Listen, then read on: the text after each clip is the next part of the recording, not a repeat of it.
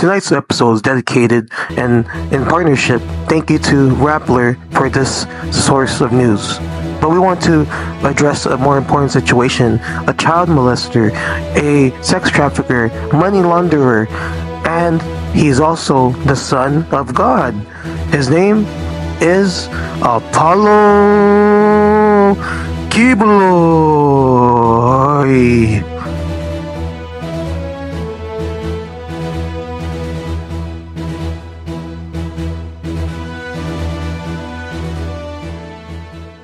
A Rappler investigation uncovers three properties, estimated to be worth P338 million Tricedo pastor Paulo Quiboloy and his group. Two of these are in Canada, while one is located in an affluent part of California near the homes of celebrities. Embattled doomsday preacher Apollo Quiboloy and his controversial Kingdom of Jesus Christ KOJC network are linked to multi-million peso homes in North America a glimpse of the rich lifestyle that he and his close associates have enjoyed through the years. The details are based on official documents obtained by Rappler on Monday, March 11th, as well as information from sources privy to KOJC operations. The discoveries came after former President Rodrigo Duterte was appointed caretaker of the properties belonging to the Quiboloy-led group. Besides the North American properties, there are also several landholdings in the Philippines, as well as an air fleet. Quiboloy, as described by his mentor, Reverend Gordon Mallory of the United Pentecostal Church, went from a pauper, a beggar, to a multi-billionaire with a lifestyle of the rich and famous. Money means nothing to him, Mallory said. Quiboloy has been in the U.S. Federal Bureau of Investigations, most wanted list since early 2022 for sex trafficking of children and promotional money laundering, among others. FB poster says the preacher is also wanted for forcing members to solicit donations for a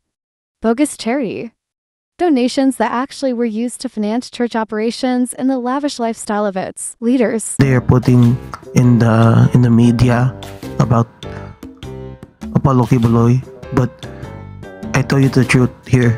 Apollo Quiboloy is the son of God, and because he's the son of God, he cannot be held for sex offender and sex crimes because he's the son of God. He created the sex crime. I mean the sex. I mean, uh, A Senate committee has cited him in contempt and has sought his arrest so he could testify before the panel, which is looking into similar allegations of abuse and exploitation hurled by his former followers in a video posted on the Pentecostals of Cebu City Facebook page. On January 30th, Mallory said Quiboloy owns mansions and estates all over the world, confirming the one in California.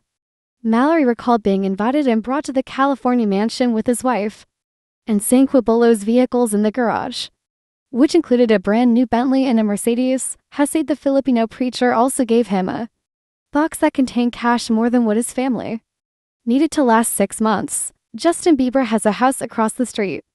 The Kardashians have a house down the street. Will Smith lives around the corner. Said Mallory, who recalled the time he was invited to Quiboloy's mansion. The mansion stands on Simpson Place, a quiet residential neighborhood located in Calabasas, California. Known for its upscale homes, lush landscaping, and privacy afforded its residents.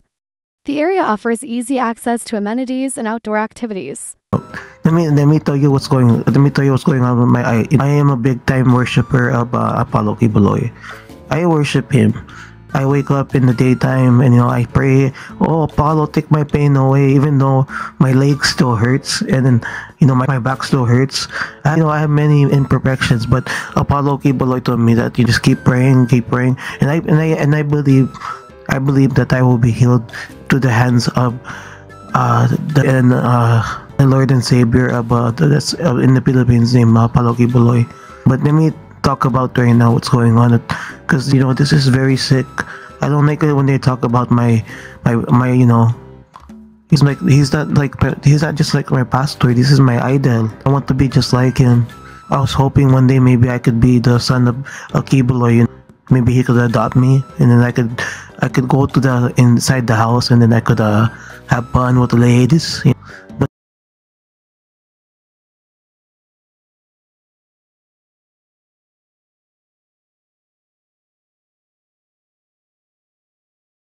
uh, you know I don't know anything like that. I don't. I always see I always see him as someone who is very respectful. He's very well mannered. Be- behind the cameras and stuff, you know. Oh yeah, he's a silly guy. Joke. If there's anyone that's a joke, it's that guy. You know. I've seen jokes in my life, and he looks like one of them. Hey man, you gotta give him the benefit of the doubt. You know, is there's no evidence. There is no evidence of the crime, then we cannot say that he's the the criminal in, in the crime. You know, if there's no evidence of the crime, then we cannot say that he is the motherfucker. But I will show you anyway. I will prove to you that he is, he is innocent beyond a reasonable doubt. Okay, okay, okay. Network are linked to multi-million peso homes in North America. Oh, that's that's so what? Oh, that is not my problem. They're linked to me. That is that is a god, diba? Yeah, completely understandable. I don't I don't think that's bad. Just because they have two big houses, uh, it's not the crime. It's not the crime. God gave. If I am God's son, why? Why? What do you think? Not gonna give me a mansion here in, in my in this uh this planet? Of course, I'm God's son. I'm gonna have a big mansion. You know, I'm God's son. It's this is this is uh you know this is going way away from the topic. We need to cross-examine each other first. You cannot judge me. I am I will judge you end times, di ba? Okay. If if my if I am the God, if I am the Father God, and my son is here on earth, I am I he needs to have a jet plane. I don't care what you guys say. You have to think because you guys think like human beings. That's why that's the problem. Human, you guys are not God. If you're a God like me, you would think like a God. That's why you know you guys have very small mind, small-minded people. You know, you you look at me because I have a I have a big jet. I have a you know these crazy influentials like the Rodrigo Duterte, and then uh, uh I have these uh these air fleet, you know, and as well as uh many. I am God's son.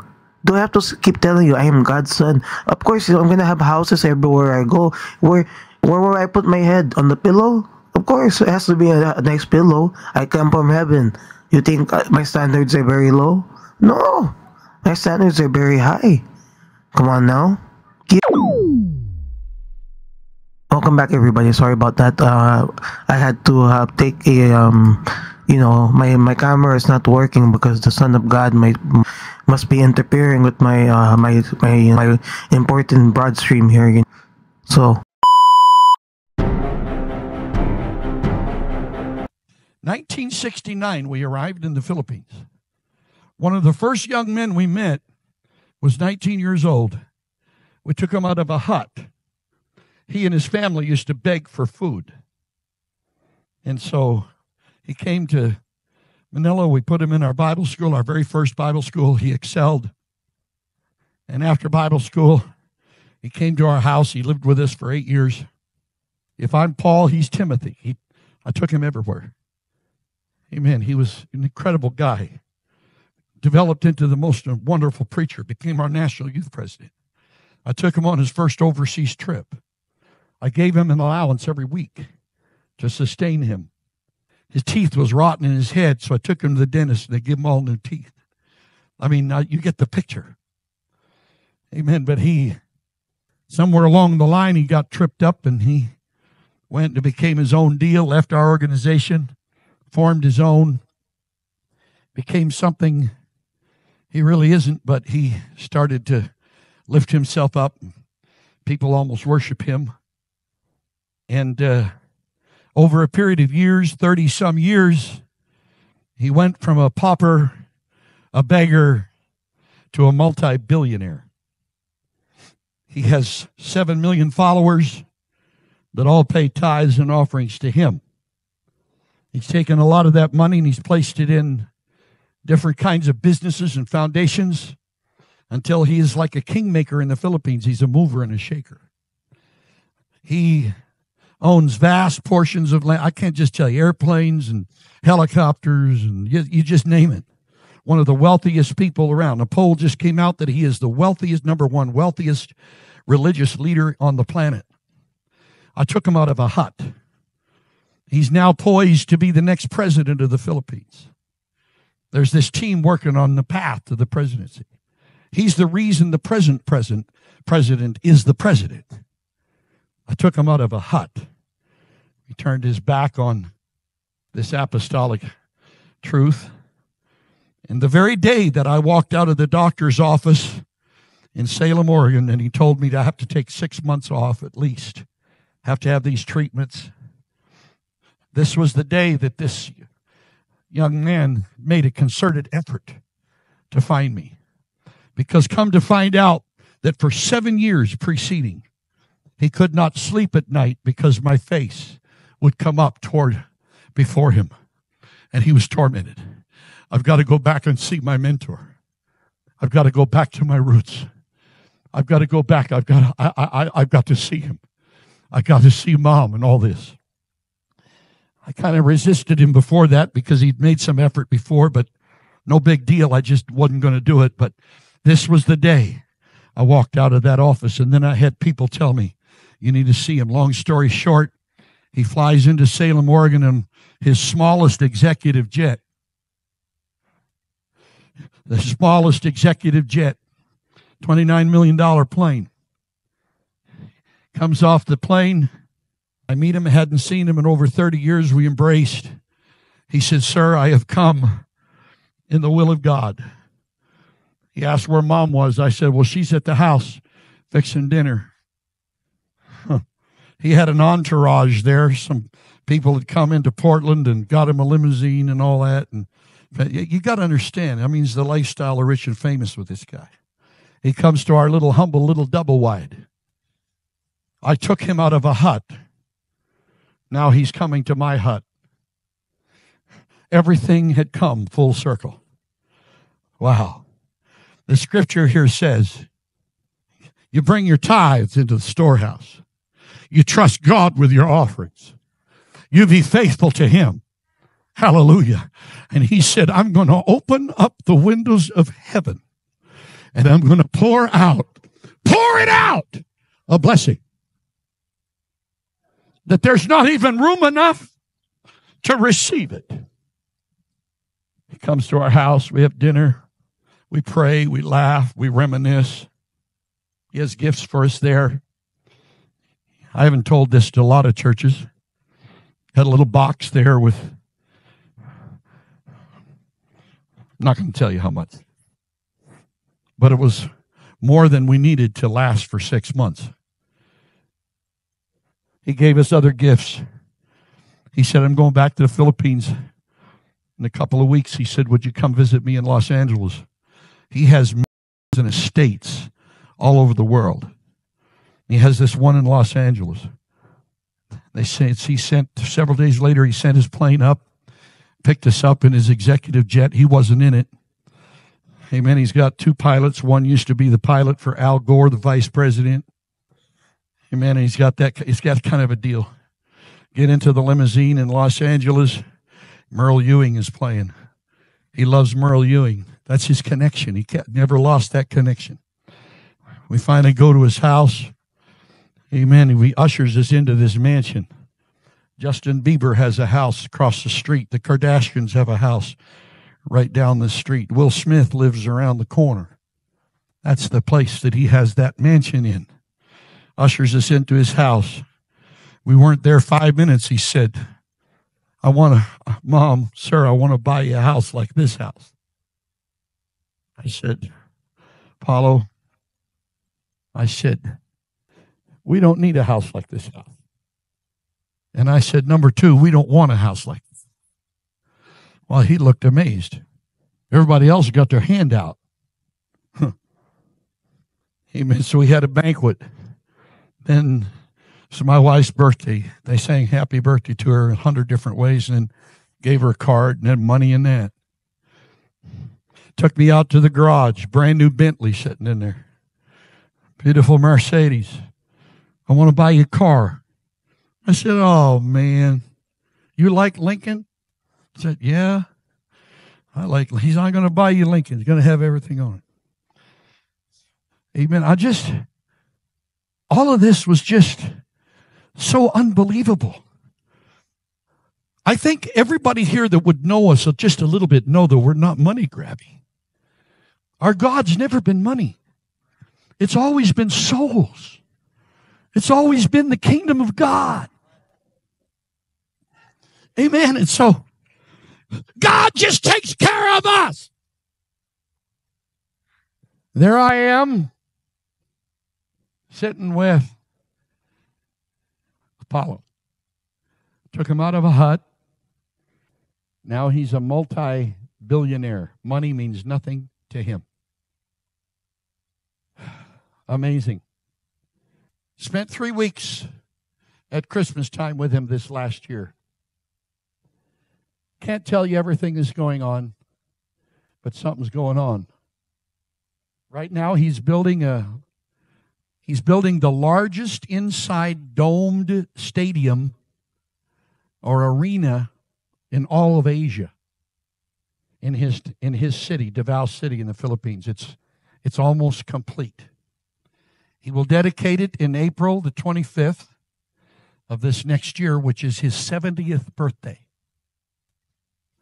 He wants our whole family to be there, and he wants many of our friends to come there to be with him.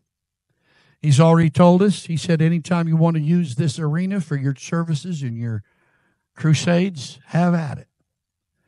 He offers us his Jeff flies all over Mindanao in the helicopters and all that stuff that he's got. He gives him his security detail and all that. So he's done many, many wonderful things for us. But he has given and he has given and he has given. But I throw that picture up there. This is a little different service tonight. Amen. I want what I'd like to do, I would like to enlist all of you if you could just make a commitment within in the, with everything else that you've done or you're doing, make a commitment to at least one time a day pray for that man. One time a day. It can be a minute, it can be five minutes, you can take longer, but just if you would make a commitment every day to pray for that man until it happens. Can you imagine what would happen if that man would ever truly come back to his roots? He's got 7 million followers. He baptizes all of them in Jesus' name. He believes in one God. He can't stand the Trinity, so he got a whole lot of it right. Amen. We need to pray that the devil who's tried to devour that man's ministry, amen, we need to pray that God will turn him totally around and bring him back to those apostolic roots. Hallelujah. Are you going to pray with me for that man? Hallelujah. Let's everybody just raise our hands towards him right now. In the name of Jesus Christ, we are all here together on a Wednesday night here in the state of Maryland. Lord Jesus, we have felt your presence here tonight. Your power and your glory has been amongst us. We've seen you do many wonderful things, but Lord, now you're bringing us into your confidence. And we are coming together as a body of people to believe that that devourer is not going to destroy the fruit of that man and that he's going to come all the way back in the name of Jesus Christ. And he's going to give a black eye to the devil and his kingdom. In Jesus' name, devil, you can't have my son in the gospel. You can't have him. Hallelujah. I covered him for the kingdom of God in the name of Jesus. In the name of Jesus. Oh, hallelujah. Quiboloy has been in the U.S. Federal Bureau of Investigation most wanted lists since early 2022 for sex trafficking of children and promotional money laundering. Oh, that's money laundering. What are you doing? To you doing? You're gonna do that to my country? And of course, the the trafficking of children. Oh no, you know that one there. Oh no, oh ay sakit yun man. Alam mo yung punishment dyan? They will put you in the jail and then they will crucify you. Seriously. It happens. They will make it. They will. Uh, sometimes you know there's uh people like this in the very figures. Sometimes you don't know where this, the security guards are. You know they happened to Jeffrey Epstein. He you know all of a sudden uh he's, um he's in his prison cell and then all of a sudden he's hanging. He's hanging. He died. He died. They say suicide, but how's that? How's this possible? Where did he get the rope? He had no rope. He must have had help. Di ba? Ewan. Ganun talaga eh. The security guard, say, ay, hoy, Brad, tatay lang ako. Five minutes, okay? Sige, five minutes lang. Tulog. And then, you know, five minutes later, what happened? Patay na siya? Oh, okay. Sino? Yung sex, yung sex Sex offender? Oh, okay lang yan. Okay lang yan. Sex offender yan. Okay, and uh, everybody, it's okay. Calm down. It's just a sex offender. He's dead. Everybody can just, you know, relax. Everybody's, you know, your uh, go back to sleep, and uh, you know, you guys enjoy the rest of your evening. Uh, we just have another uh, sex offender here. It's hang, he's hanging by his neck, and uh, you know, we just want to say to everybody, you know how it is here. Nobody likes uh, sex offender here because that's just the way it is. You know, we cannot have this kind of person here. Uh, the staff has nothing to do with it, but um, uh, I believe this was a suicide. So, yeah, ganun, it's gonna look like Hipuloy. It's gonna look like you did the suicide.